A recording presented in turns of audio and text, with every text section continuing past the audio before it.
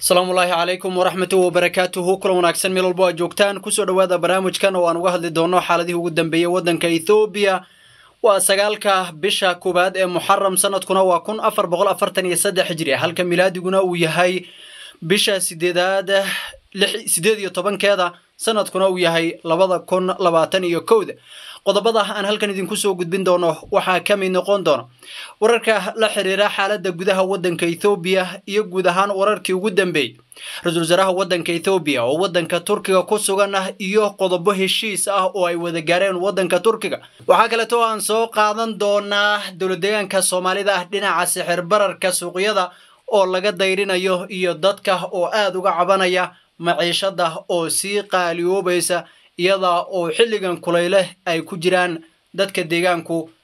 Waxaana wararku ay sheegayaan in maciishadu ay cirka isku shareertay taasi oo laga dalbanayo dowladdu inay wax ka qabato qodobadaas iyo kuwo kale ayaan halkan daqadaha soo socda ku faahfaahin doonaa haddii oo gool la saamaxo ee soo dhowaada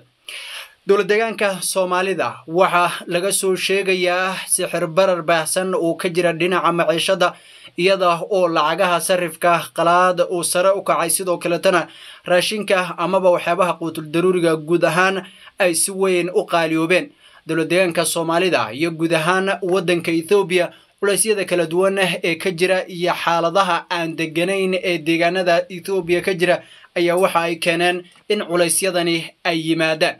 dadka deegaanku waxay ka cabanayaan maciishada sii qaaliyoobaysa oo aan maalin maalin ku daraynin maalinba maalinta ka dambaysana isa soo bedelaysa. Waxa ayna hadda dalbanayaan in ay dowladdu wax ka qabato. Toddobaadyadii la soo dhaafay kulamo kala duwan ayaa jiray oo madaxda dowlad deegaanka soomaalidu ay ka yeesheen uguna dambeeyey mid maanta ka dhacay magaalada jigjiga oo lagu jaangoynayay maciishada amaba waxyaabaha quutul daruuriga ah beecooda iyadoo la sheegayo in waxyaabo badan laga dhimay. Laakiin halka ciladu ka taagantaha ayaa waxa ay tahay sarifka lacagaha qalaada oo sare u sii kacaya oo ilaa iyo hadda lacagtii ethoobiya aan xal loo haynin ay hoos loogu dhigayo amaba lacagtii sare loogu qaadayo waana mid ka mida culeysyada jira. Xilligan oo dowlad deegaanka soomaalida ay doorasha ku soo wajahan tahay sidoo kaletana xilli kulaylaha lagu jiro xaaladda waddanka ethoobiya culays ka jiro waxyaabahaasoo dhani ay taagan yihiin ayay haddana dadka deegaanku marxaladaas iyada ah ay ku jiraan dowlad deegaanka soomaalida waxaa kaleeto oo maanta la soo gebagabeeyey cabashooyinkii xisbiyada mucaaradka ee dowlad deegaanka ee arrimaha doorashooyinka ay kaga cabanayeen gudoomiyaha guddiga doorashooyinka ee waddanka ethoobiya portugal ayaa waxa ay sheegtay in ay u gudbiyeen xisbiyada mucaaradka natiijooyinka ka soo baxay baaritaanadii cabashooyinkoodii kala duwanaa ee guddiga doorashooyinku ay sameeyeen waxa ayna sheegtay in doorashadu ay xilligeedii ku dhici doonto waxyaabahaas iyagaana dhammaantood ay yihiin kuwo la doonayo in xal laga wada gaaro. Waxa ay sheegtay in ay dad kala duwan waraysiyo la yeesheen. Waxay sheegtay in dhinacyadu ay hadda ku qanacsan yihiin qaabka wax loo soo sameeyey waxayna tani noqon doontaa kadib marka ay soo indheindheeyaan ay soo arkaan in si wada jira looga hadlo arrimahaasi dowlad deegaanka soomaalida ayaan weli ku sii soconaynaa ee waxaa kaleeto jirta arrimaha ammaanka ee dowlad deegaanka ayaa lagu soo warramayaa in si weyn loo adkeeyey xilli doorashooyin ay ku soo fuul leeyihiin deegaanka canfarta xiisada kala dhexaysa soomaaliduna ay weli halkeedii ka taagan tahay. Sidoo kaletana waxay aad looga cabsi qabaa in ay dhici karaan dad t b l f taageero u ah oo dhibaatooyin ka geysan kara deegaanka. Waana mida ay dowladda federaalka ah ee waddanka ethoobiya iyo guud ahaan dowlad deegaanadu xilligan ay ka wada hortegayaan keli kuma dowlad deegaanka ee waxaa ammaanka sare loo qaaday guud ahaan dowlad deegaanada kala duwan ee waddanka ethoobiya si gaar ah dowlad deegaanada bishangul gumuz shucuubta koonfureed zidamo iyo sidoo kaleeto gambela waxay maalmihii la soo dhaafay soo bandhigayeen dad ay sheegeen inay qaswadayaal ahaayeen oo ay ka faa'iidaysanayeen xaaladda waddanku ku jiro iyo dagaalka lagula jiro kooxda t b l f ee fallaagada ee dowladduna argagixisada u aqoonsatay. Tani waxay ka mid ahayd mid ka mid a qodobadii baarlamanka waddanka ethoobiya maalintii shalayta ahayd sida weyn loogu falanqeeyey guud ahaan xaaladda waddanka ethoobiyana looga hadlay. Arrinta la xiriirta kacdoonnada iyo ururada kaleeto ee ay dowladda ethoobiya argixisada u taqaano oo halkoodii ka sii socda ama dhibaatooyin u horseeda waddanka ayaa iyadana ahayd mid ka mid a qodobadii sida weyn ay baarlamanka waddanka ethoobiya u lafagureen maalintii shalayta ahayd waxaa kaleeto oo deegaanka amxaarada iyo weliba dagaalada ka socda waqooyiga waddanka ethoobiya ay yihiin kuwo halkoodii ka sii socda. Maalmihii la soo dhaafay guulo kala duwan oo dhinacyadu ay kala sheegteen ayaa jiray. Weli wax war ah oo si rasmi ah looga qaateena ama loo xaqiijin kara ma jiro markii la fiiriyo xaaladaha kala duwan ee halkaasi ka taagan iyo xiisadaha isa soo taraya oo dhinacyadu keli ah ay guulo kala sheegtaan dowladda federaalka ethoobiana dadaalada ugu badan hadda waxay ku bixinaysaa sidii ay guluf coolaadee t b l f ugu qaadi lahayd iyo diyaar garowgeeda iyada oo ay kooxda t b l f sheegayaan inay deegaano horle gacanta ku dhigayaan. Halka ay deegaanka amxaaraduna sheegayaan inay waxba kama jiraan yihiin gebi ahaanba dowladda federaalka ayaa iyaguna beeniyey magaalooyinkii ugu dambeeyey ee ay t b l f sheegteen in ay la wareegeen. Toddobaadyadii la soo dhaafay dowladdu guulo kala duwan ayay sheeganaysay iyo in t b l f ay dharbaaxo aad u xoog badani ku dhacday marka la fiiriyo goobaha kala duwan ee dagaalka iyo dagaaladii qorshaysnaa ee dowladdu ay qaadaysay sidii aan barnaamijkii kan ka horreeyey idinku sheegnayba. Ra'isul wasaaraha waddanka ethoobiya abiy axmed cali oo ka duulaya kobcinta diblomaasiyadda waddankiisa ayaa waxa uu u socdaalay waddanka turkiga kadib casuumaad rasmi ah oo ka helay madaxweynaha waddanka turkiga. Sababta uu ra'iisul wasaare abiy axmed u tegay waddanka turkiga ayaa ah sidii loo xusi lahaa boqol labaatan iyo shan sano guuradii ka soo wareegtay saaxiibtinimada adisababa iyo ankara.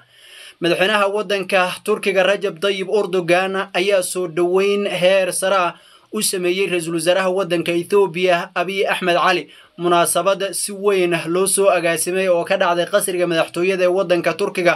ayaana ra'iisul wasaaraha waddanka ethoobiya lagu soo dhowey kadib soo dhoweyn waxaa loo gudbiyey qasriga madaxtooyada ee waddankaasi ra'iisul wasaaraha waxayna kulamo kala duwan yeesheen madaxweynaha waddanka turkiga rajab tayib erdogan oo ay ka wada hadleen marxaladaha kala duwan ee waddamada geeska iyo sidoo kaleeto xaaladda ka taagan waddankiisa. Sidii ay gacan uga siin lahayd dowladda turkiga oo saameyn aad u weyn ku leh sanadihii u dambeeyeyba waddamada caalamka.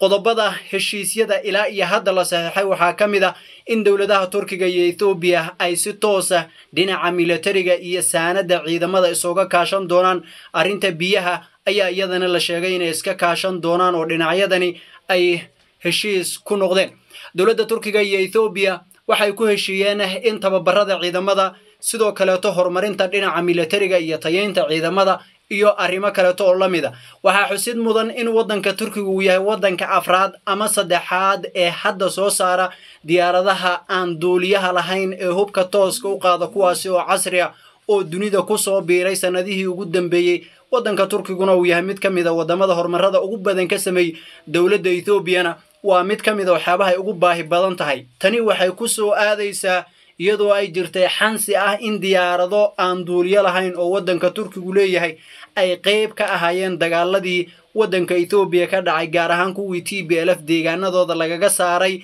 ee bishii hore sannadkii hore bishii kow iyo tobnaad bilowday ee muddo saddex bilooda guud ahaan deegaanadoodii lagaga cirib tiray.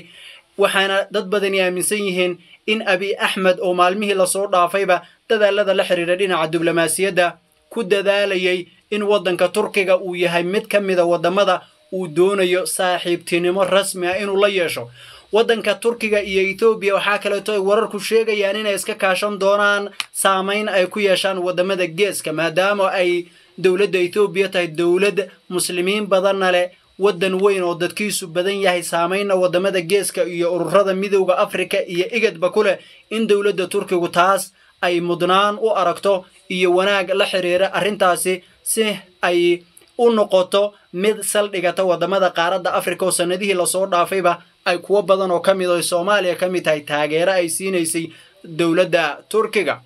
Sidoo kaleeto waxay tani ku soo aadaysaa xilli uu magaalada adhisababa maalintii shalayta ahayd uu soo gaaray ergeyga gaarka ah ee waddamada afrika u qaabilsan maraykanka oo la kulmay ra'iisul wasaare ku-xigeenka waddanka ethoobiya ahna wasiirka arrimaha dibadda dhemeke mecanon kana wada hadleen xaaladaha guud ee waddankooda ka jira. Mas'uulkan waxa uu kulamo kala duwan la yeeshay madaxda midowda afrika urur goboleedka igad iyo madax kaleeto waxaana natiijooyinkii ka soo baxay ay caddaynayaan in ay guulaysteen sababtuna waxay tahay cabdalla xamduug oo ah madaxa hoggaanka igad ee xilligan waxa uu markiiba sheegay in uu